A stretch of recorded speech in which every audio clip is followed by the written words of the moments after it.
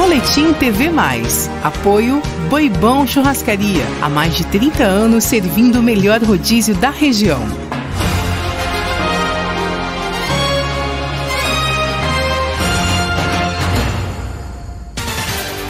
Olá, bom dia! O Boletim TV Mais News está no ar. Para você que está acompanhando a programação da TV Cultura Cuiabá, obrigada pela sua audiência, obrigada por nos receber aí na sua casa. Já vamos para o nosso site, tvmaisnews.com.br, para a gente ficar por dentro das principais informações, principais notícias dessa terça-feira. E já vamos começando a falar de saúde. Em uma semana, o estado registrou mais de mil novos casos de Covid-19 e cinco mortes pela doença. O número de novos casos é de 7,7 menor que na semana anterior.